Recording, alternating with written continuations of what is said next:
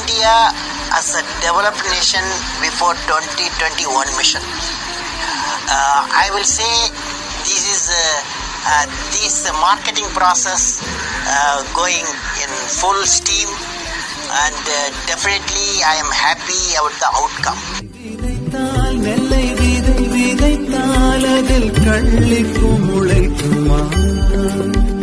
நம் தலைமுறை